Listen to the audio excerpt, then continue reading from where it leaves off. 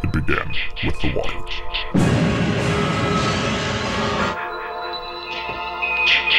But then the water got into the mix.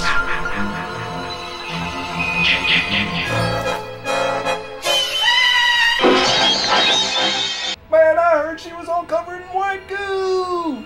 Well, her boyfriend Skeet Thompson, he is a big man on campus. Yeah, but something weird's going on!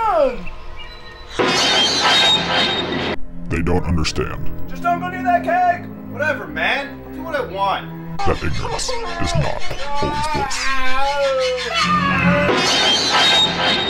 I'm getting a beer! It will find you. CMOS, Is that cake mix? cake mix, Something. or something.